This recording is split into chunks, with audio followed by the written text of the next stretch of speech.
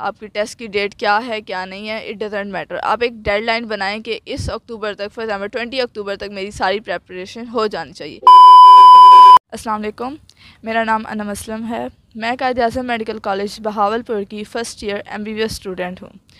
मेरे M D के में वन एटी थ्री मार्क्स हैं और एफ़ एस सी में मेरे नाइन सेवेंटी फाइव मार्क्स हैं और मैट्रिक में मेरे one thousand twenty three marks हैं।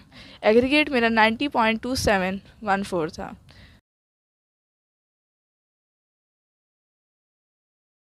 तो बेसिकली मैं अपनी इस वीडियो में आपको एम डी कैट के बारे में गाइडलाइंस दूँगी और सबसे पहले मैं आपको अपनी एम डी कैट की जर्नी बताना चाहती हूँ।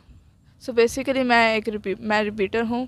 मेरे फ़र्स्ट अटैम्प्ट में मेरे एम डी कैट में वन सिक्सटी फोर मार्क्स थे और एफ़ एस सी में मेरे नाइन ट्वेंटी सिक्स मार्क्स थे। सो बेसिकली मैं आपको ये बताना चाहती हूँ कि इट डजेंट मैटर कि आपके एफएससी में कितने मार्क्स हैं।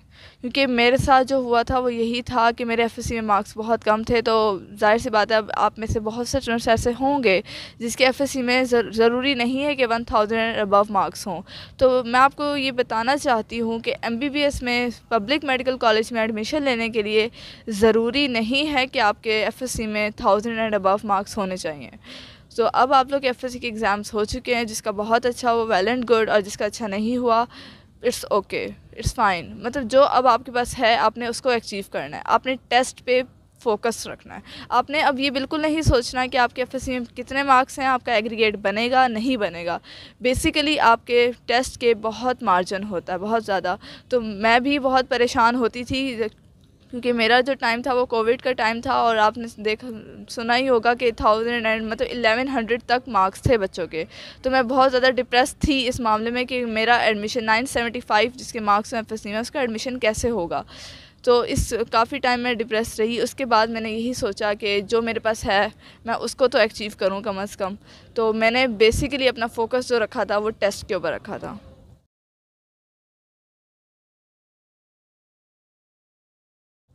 तो टेस्ट के लिए अब आपके टेस्ट के पास भी बहुत सी चीज़ें हैं कि आपने बुक्स कौन सी पढ़नी है, आपने एम की प्रैक्टिस कहाँ से करनी है, आपने कौन सी अकेडमी ज्वाइन करनी है। फ़र्स्ट ऑफ़ ऑल के अगर आपने कोई अकेडमी ज्वाइन की हुई है इट्स गुड और अगर आपने नहीं ज्वाइन की हुई तो ये कोई मुश्किल बात नहीं है कि जो एकेडमी ज्वाइन करते हैं एडमिशन सिर्फ़ उन्हीं का होता है।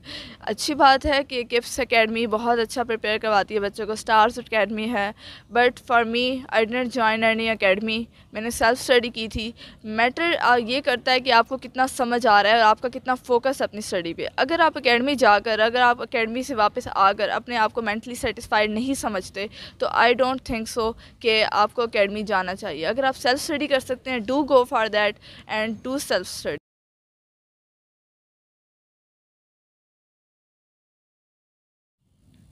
तो बुक्स हमारे पास बहुत सी बुक्स हैं। बेसिकली हम जो पढ़ते हैं एम डी कैड के लिए वो है एम पंजाब की बुक्स हैं, पंजाब बोर्ड की फेडरल की बुक्स हैं।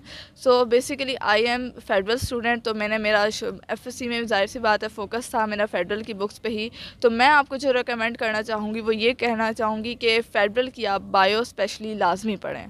क्योंकि बायो जो है, उस फेडरल की, उससे आपके कॉन्सेप्ट बहुत क्लियर होते हैं। And for test concept matters a lot ये मैटर नहीं करता कि आपने कितनी किताबें पढ़ी हैं, ये मैटर करता है कि आपको कितना गेन हुआ है नॉलेज आपको कितनी समझ आई है।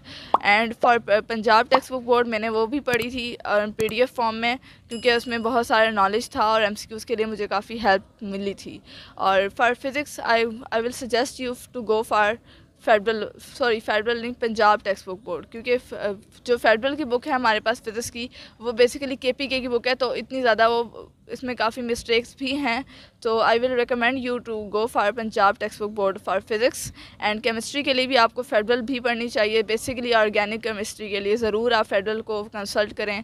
और उसके बाद आ जाता है एम की प्रैक्टिस एम की प्रैक्टिस मैंने किप्स की बुक से ही की थी। अब आपके पास एक वेबसाइट है जिससे मुझे बहुत ज़्यादा हेल्प मिली थी। वो है कॉम इस वेबसाइट पर आपको सारे टेस्ट ऑनलाइन टेस्ट आपको मिल सकते हैं। आपको काफ़ी हेल्प मिल सकती है। तो मैंने बेसिकली वहीं से टेस्ट की प्रैक्टिस की थी और ज़्यादा टेस्ट की प्रैक्टिस मैंने फ़िज़िक्स के लिए की थी, क्योंकि फ़िज़िक्स जो एक ऐसा सब्जेक्ट है जिसमें आपका टाइम और आपका मतलब फोकस बहुत मैटर करता है और एम डी कैड के स्टूडेंट्स के लिए बहुत मुश्किल होती है कि हम फिज़िक्स को कैसे प्रिपेयर करें।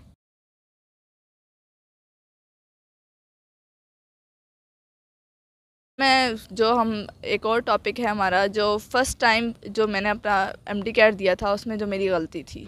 सबसे बड़ी गलती ये थी कि मैंने कहा था कि मेजर पोर्शन हमारे पास है फ़िज़िक्स का बायो केमिस्ट्री सॉरी केमिस्ट्री का, और बायो का तो मैंने ज़्यादा फोकस इसी पे किया था। मैंने कहा था इंग्लिश मतलब इंग्लिश में क्या होगा? टेंस होंगे जो हम पढ़ चुके हैं तो इसमें इतनी ख़ास कोई मुश्किल बात नहीं है।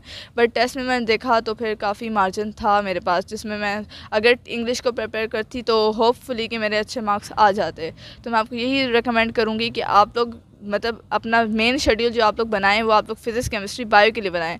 बट लाजमी एक दिन में एक घंटा लॉजिकल रीजनिंग एंड इंग्लिश को ज़रूर दें। उसके आप लेक्चर्स ले लें या कोई भी आप किसी इंग्लिश की बुक पढ़ लें, वो कैब के लिए इतना वो नहीं है क्योंकि वो कैब हमारे पास मिक्स जगह से आती है। वो आप जितनी ज़्यादा रीडिंग करते हैं, वो आपकी लक पे डिपेंड करता है मेजर तो मेजर बेसिकली आपने फ़िज़िक्स फ़िज़िक्स कह रही हूँ इंग्लिश और लॉजिकल रीजनिंग पे भी ध्यान देना है, जो कि मैंने नहीं दिया था और I suffered for that.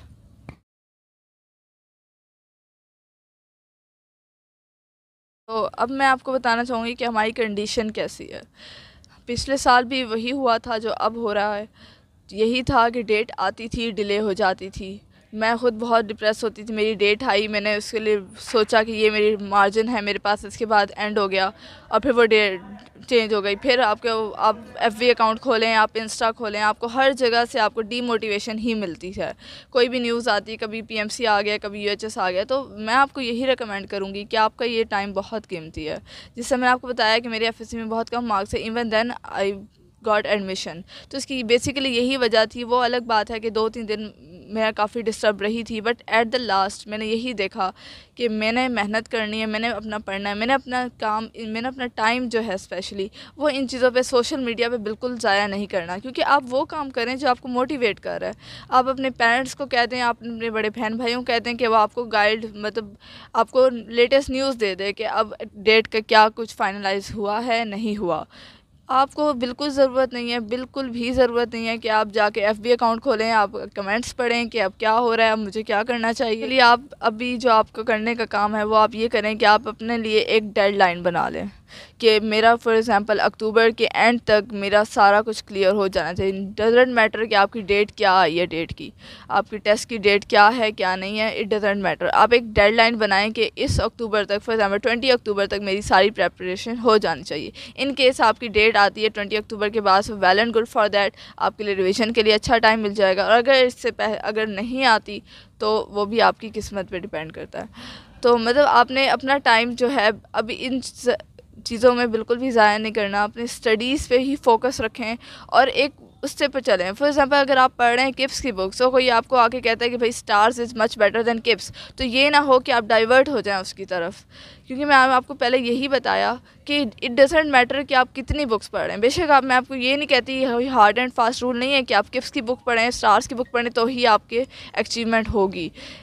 आपका बेसिक काम क्या है? आपने नॉलेज लेना है। In the last I will say कि अगर आप ड्रीम देख सकते हैं तो आप इसको अचीव करने की भी सलाहियत रखते हैं। तो अपने आप के ऊपर कॉन्फिडेंस रखें and do go for that challenge करें अपने आप को कि कुछ भी हो गया है आई आई विल डू दो महीने हैं एक महीना है दो हफ़्ते हैं तीन हफ़्ते हैं इसको मैंने बेस्ट इस्तेमाल करना है। And in the last I will say कि अगर आपको को कोई भी क्वेरी हो, आप लोग एम डी कैट से रिलेटेड कुछ भी पूछना हो, आप लोग कमेंट सेक्शन में पूछ सकते हैं। एंड आई होप कि वीडियो आपके लिए बहुत हेल्पफुल रहेगी। थैंक यू एंड इस वीडियो को लाइक करें और चैनल को सब्सक्राइब कर दें और ज़रूर शेयर करें अपने फ्रेंड्स के साथ ताकि उन्हें भी हेल्प मिले और आप सबको भी इसका अजर सवाब मिले। Thank you